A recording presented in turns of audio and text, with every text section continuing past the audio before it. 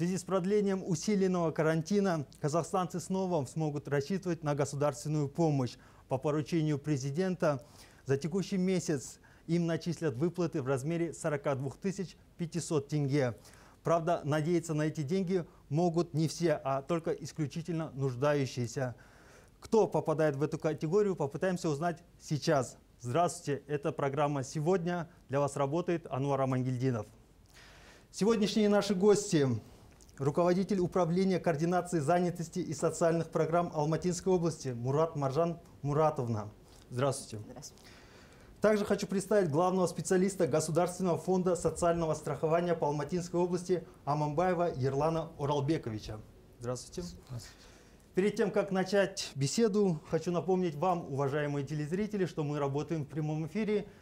Если возникли какие-либо вопросы, вы можете звонить нам по телефону, указанному на экране, или писать на WhatsApp Messenger. Так что ж, начнем. Первый вопрос к вам, Маржан Муратовна. Расскажите, кто может претендовать на выплату в размере 42 500 тенге?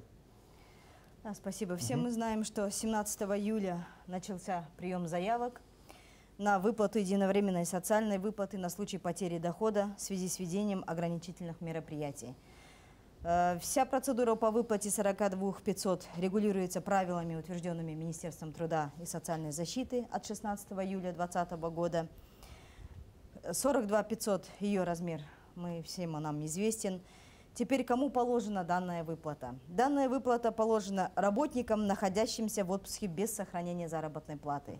Исключением из этого являются работники квазигосударственного сектора со стопроцентным участием государства, сотрудники банков второго уровня и э, сотрудники э, государственных юридических лиц – за исключением а, государственных предприятий на праве хозяйственного видения. Индивидуальные предприниматели, лица, занимающиеся частной практикой, физические лица, получающие доходы по договорам гражданско-правового характера, предметом которых является выполнение работ либо оказание услуг. Физическим лицам, являющимся плательщиком единого совокупного платежа, платежа, о котором мы э, в народе говорим ЭСП сокращенно, это пятая категория тем, которым положена данная выплата. Угу. Да. Спасибо. А вообще расскажите, пожалуйста, куда направлять заявки и кто именно заявки должен эти э, заполнять, направлять, относить, так скажем? Так, э, заявки можно э, в проективной форме, угу. это которые в, первый, в первом периоде оплатили единый совокупный платеж, и мы назначали проективной форме. Это, то есть, э, этим лицам э, направляется смс-уведомление, и они подтверждают да или нет, отказываются или согласны с данной выплатой. Э, и мы назначили проективной форме. Нет, извините, простыми словами, это получается те, кто участвовал в первом потоке, как я понимаю, во время режима ЧП. Да, э, которые являются э, плательщиками единого совокупного платежа. А вот а, за наемных работников, за наемных работников э, подают заявку э, работодатели. Они подают заявку через порталы 42 500 МБКЗ, э, либо через портал ЕГОВ. Э, а индивидуальные предприниматели э, подают заявку через тоже, через МБКЗ и ЕГОВ портал. А скажите, пожалуйста, что делать, если работодатель отказывается подавать заявку за своих работников? Да, здесь э, разница вот этого вот второго этапа выплаты 42 500 в том, что раньше работники, которые находились в отпусках без содержания, они были вправе сами напрямую подавать на а, назначение выплаты. В этот раз правило устанавливает, что за работников, находящихся в отпусках без содержания, подает работодатель. Если работодатель отказывается подавать, либо по каким-либо причинам затягивает подачу заявки, то работники вправе обратиться в трудовые инспекции. Трудовые инспекции сейчас у нас полностью э, работают, по всем этим заявкам отрабатывают. Э, что хорошо, пока по области таких фактов нет. Работодатели все-таки подают заявки для своих работников. Угу. Вообще на данный момент вот по нашей области сколько заявок подано? Э, на сегодняшний день э, назначена э, соци... единовременная социальная выплата на 270 тысяч человек 70, 270 тысяч человек. Это, получается, получили уже. Нет, это Выплату. назначено А, только уже. назначили. А поставлено на выплату 255 тысяч Человек. человеком. да. Вообще, в целом, если говорить вот э, о порядке подачи, мы делим пять категорий, да? Кому положена данная выплата? Это работники, частные предприниматели, индивидуальные предприниматели. Это первые три категории, которые рассматриваются районными штабами в районных акиматов. На сегодняшний день во всех 20 районах созданы штабы, они уже в полной мере работают и принимают заявки. А две категории – это плательщики этого единого социального платежа, и э, по договорам гражданского правового характера они в проактивном формате напрямую направляются уже в фонд, то есть минуя рассмотрение на районных штабах. Здесь, конечно, разница может быть в сроках рассмотрения. По первые три категории, которые проходят через районные штабы, их заявки рассматриваются в течение трех, э, пяти рабочих дней и направляются на утверждение в фонд. Там дальше э, оплата уже производится по графикам оплаты. Примерно такой порядок. Как мне сообщают, к нам поступил телефонный звонок. Давайте послушаем нашего телезрителя. Здравствуйте, Добрый день. Э, Вот Курмангалиев Альтаджи Маканович. Э, Я в прошлом году, в декабре, остался без работы. Э, Я подал заявку в апреле в 42 500. Э, Мне отказали. Хотя у меня на пенсионном фонде больше 5 миллионов лежит. Почему не смотрят на пенсионный фонд и что за отношения? Вы делаете все для того, чтобы не давать эти деньги. Я вот так понимаю лично. Спасибо за ваш вопрос. Мгм. Хотелось бы отметить, что если человек является безработным, то для него есть совершенно другие социальные меры поддержки. Это как пособие безработицы, это как вовлечение в активные меры занятости. То есть человек отрабатывается, получает государственную поддержку э, немножко в других, э, в другом порядке, в других отраслях. Почему ему было отказано? На пенсионный фонд здесь смотреть нельзя, потому что средства выплачиваются не э, за счет пенсионных отчислений гражданина, они оплачиваются за счет фонда социального страхования. А если он является безработным, он может встать на учет в центре занятости и ежемесячно получать э, пособие по безработице. И, да, и по правилам, да, э, по правилам э, мы назначали и выплачивали тем лицам, которые потеряли доход в связи с введением чрезвычайного положения. А, этот получает, а человек, получается, в декабре уволился с работы. Да, да, это вот чем он основная, не с- претендует м, это основная, основной смысл и на эту основная выплату. соль данного, а, данной выплаты – это именно влияние карантинных мер. То есть это а, прямые ограничения, когда из-за карантина человек потерял свой доход, из-за карантинных мер. Извините, к нам поступил еще один звонок. Давайте послушаем нашего телезрителя. сәлеметсіздер ме Сәлеметсіз бе? мына менің қояйын деген сұрағым мынандай еді Қоя беріңіз аға. менің қояйын деген сұрағым мынандай еді Тыңдап тұрмыз сізді. мен зейнеткермін екінші топтағы мүгедекпін мен екінші топтағы мүгедекпін зейнеткермін екінші топтағы мүгедек азық түлік себеті бойынша бес мың алты жүз теңге бізге төлене ме иә төленеді. Ә, сұрағыңызға рахмет. Ә, зейнеткер ә, болсаңыз содан кейін екінші топтағы мүгедек болсаңыздар иә бұл төлемақы төленеді. Қазір оның тізімдерін бәрі қалыптастырылып жатыр. Мынау үшінші айда 42 мың 500 төленуіне байланысты продуктовый бытовой набор дейміз. Сол ақшасы осы жақын арада төлене бастайды. Может, да, получить, получается? да он может гражданин? получить как инвалид второй группы. Э, Он Только попадает- продуктовый набор. Продуктовый набор, Мгм, только, только продуктовый продуктовый бытовой набор. набор. Мгм. Он как инвалид второй группы подпадает под категорию лиц, которые могут претендовать на эту выплату. Мгм. Нам говорят, что поступил еще один звонок. Давайте послушаем.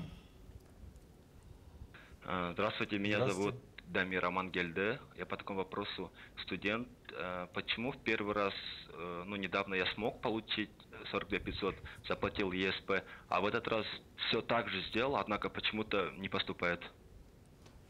Э? Аха. Ага.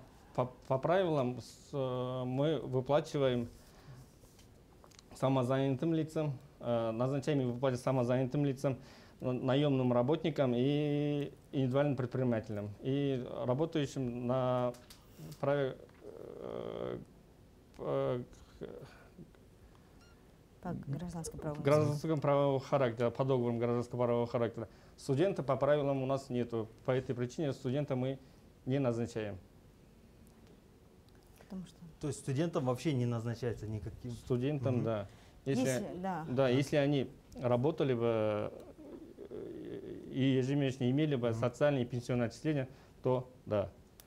А угу. студентам сейчас мы не назначаем. А вот такой вопрос. Кто неофициально трудоустроен, имеет ли право получить выплату в размере 42 500? Официально это... Неофициально. Вот как, э, предположим, официанты, вот у кого не составлен договор с работодателем, контракт? Ну, по правилам, угу. по настоящим правилам э, должен подать работодатель. Если работодатель подаст на него заявку, то да, угу. мы назначим. А вообще в случае, если гражданин, предположим, не согласен с решением комиссии, где можно это обжаловать? И как это сделать? Если он не согласен с решением комиссии, mm он может это подать жалобу в оперативные штабы которые сформированы э, в районных акиматах. Э, в случае несогласия с решением и районного штаба, то он вправе на вторую инстанцию подать уже в областные штабы. Также в Акимате Алматинской области работает э, областной штаб, который рассматривает решения и жалобы заявителей на отказы по районным штабам. Примерно сколько это времени занимает вот, вот эта вся процедура? обжалования? Сколько рассматривается жалоба? Процедура обжалования, она рассматривается как обращение граждан, поэтому в течение 15 дней на общих основаниях. Угу. Нам говорят, что есть еще один зв... телефонный звонок. Давайте угу. послушаем.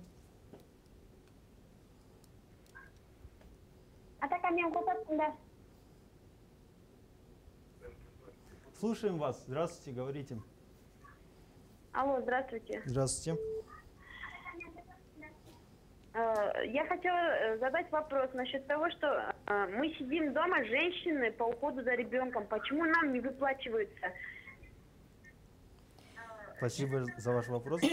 Женщины по уходу угу. за ребенком. Мы сказали, что данная выплата, она является выплатой в связи с потерей дохода. То есть основным, основной причиной выплаты данного пособия является потеря дохода.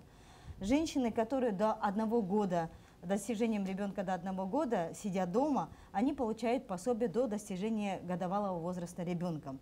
Но если эта женщина является работающей женщиной и потеряла свой доход в связи с карантинными мерами, за нее будет подавать работодатель, как человека, а, который находится в отпуске без содержания. Если она работала в качестве индивидуального предпринимателя, то индивидуально будет э, проверяться, мониториться также пенсионные отчисления, социальные выплаты. То есть этот человек прежде всего э, условием является потеря дохода. А если человек сидит дома, он не работал, то э, трактуется, следовательно, доход он не терял. Маржан Муратовна, такой вопрос к вам. А вот сейчас в данный момент много же госпрограмм различных, которые позволяют э, ну, переквалификация и да. так далее. Вот э, расскажите о них подробнее, тем, кто временно потерял работу, могут ли они найти другой, где-нибудь в другом месте трудоустроиться за счет центров занятости? Э, да, у нас э, есть республиканская программа «Ембек». Угу. Данная республиканская программа, она предусматривает очень много мер активных, активных мер по вовлечению безработных лиц в занятость. То есть это краткосрочные обучения профессиональные, это профессионально-техническое обучение, переквалификация, это общественные работы, это молодежная практика, это микрокредитование на льготных э, условиях. То есть с каждым э, безработным человеком, либо с каждым человеком, который хочет э, найти работу, Извините, давайте продолжим эту тему чуть позже. План. Сейчас поступил еще да. один звонок, послушаем. А, хорошо. Слушаем вас. Здравствуйте. Здравствуйте. Говорите, это... вы в прямом эфире. Так, это знаете что? Вот Здравствуйте. Здравствуйте, здравствуйте, мы вас слышим, говорите. Этот я тоже в апреле месяце 40, 42 500 не получил, потому что у меня в конце апреля пенсия.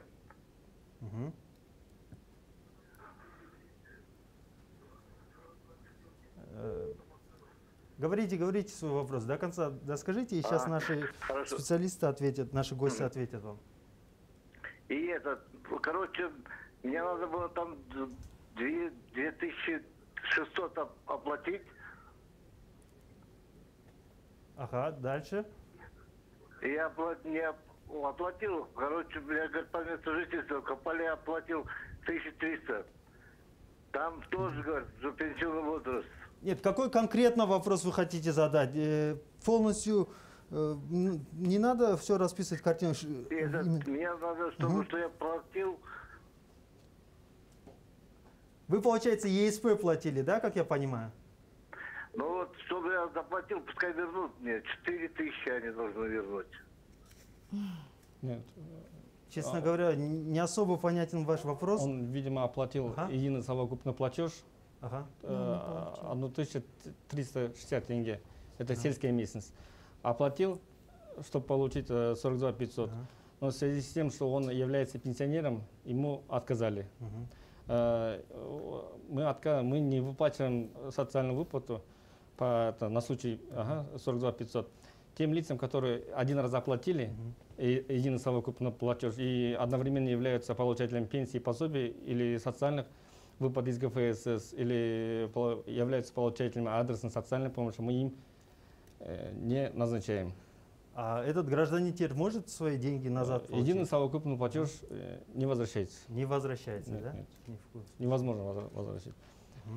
А вообще, вот сколько граждане должны, сколько месяцев подряд должны платить единый совокупный платеж, чтобы претендовать на выплату?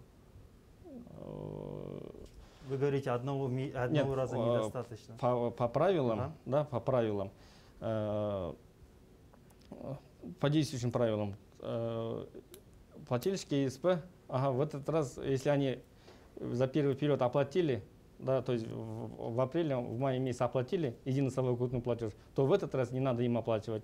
Им э, сразу же поступили смс-сообщения, вот как мы говорили, что это Проактивно. проактивно назначили им. Им смс-сообщения поступили, они подтвердили, и им мы сейчас назначили уже.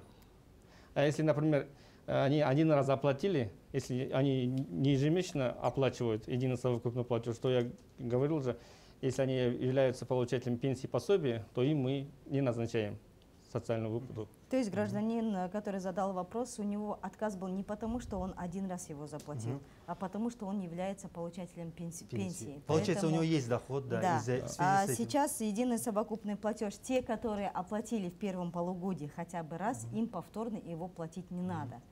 Но э, платеж ИСП должен быть именно в первом полугодии, то есть не Спасибо. сейчас. Да. Нам поступил еще один звонок, давайте послушаем. Алло, Здравствуйте. здравствуйте. Вот я тоже на счет 42 500. Мгм. Слушаем Вот вас. раз тоже из-за карантина получали, два раза получили. А в этот раз я подала, мне ответа не дают. Вы являетесь... А пла- с- сколько дней назад вы подали? Вчера подала. Вчера подали. Ну, А. возможно, рассматривается да, эта да, заявка? на проверке сейчас. Потом она по каким основаниям Да. подала, тоже индивидуально надо смотреть. Является ли она работником, является ли она человеком, потерявшим доход в данном случае. Потому что все-таки это новые правила, и это новый платеж идет. А вот вы говорите новые правила. Чем э, нынешняя выплата, именно правила нынешней выплаты отличается от тех правил, что во время ЧП были? А, Можно я, да? Мгм, Да, конечно. А, Так, на, на этот раз принцип выплаты ну, э, изменились э, в части, вот если за наемных работников, да, э, согласно указа президента Республики Казахстан с 1 апреля некоторые организации и предприятия освобождены были от уплаты социальных и пенсионных отчислений до 1 октября месяца. В связи с чем мы э, в данное время, если, э, за а, если по первым правилам обращался э, работники обращались работники, а по этим правилам сейчас только работодатель должен обращаться за наем своих работников. И если мы э, первый раз, когда назначали, смотрели э, на социальные и пенсионные отчисления, за последние 12 месяцев хоть один, за один месяц должен был э, иметь социальное или пенсионное отчисление. А в данный момент мы не смотрим на пенсионные и социальные отчисления по наемному работникам, так как э, заявку подает уже работодатель. работодатель. Да. Ответственность берет на себя он. Да. А, осталось немного времени. Возможно, вы хотите обратиться к гражданам, сказать кое о чем важном. Ну, э, здесь, да, мы порядок, конечно, объясняли о том, что сейчас уже многие знают, что заявки поступают через э, электронное правительство, через Имбек КИЗ, через телеграм-боты э, в мобильных приложениях.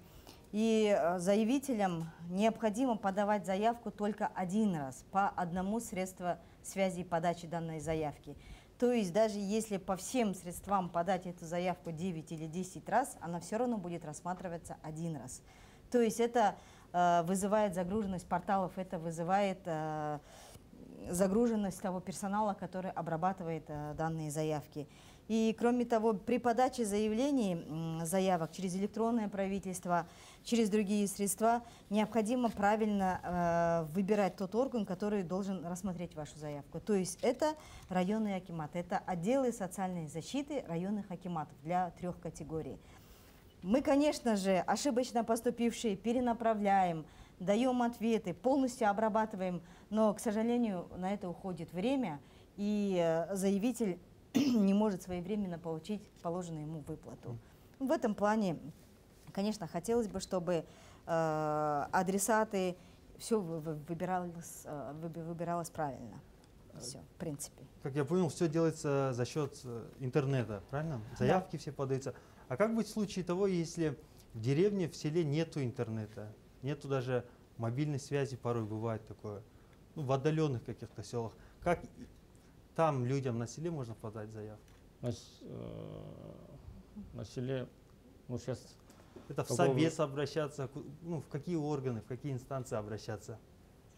Это можно даже обратиться к свой, в свой акимат сельского mm-hmm. округа, поскольку э, в каждом практически у нас акимате сельского округа, у нас 254 сельских округов, есть уголки самообслуживания, где им предоставляется и компьютер, и специалисты сельских округов оказывают помощь, содействие. В случае, если человеку трудно работать э, с электронным правительством. А, прошу прощения, говорят, нам поступил еще один звонок.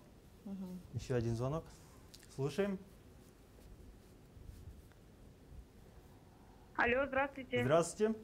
Я насчет 42 500 звоню. Угу, слушаем ваш я вопрос. Вот отправ... Я вот отправила, э, мне первые э, два месяца э, начисляли пособие, а на третий раз мне что-то отказывают.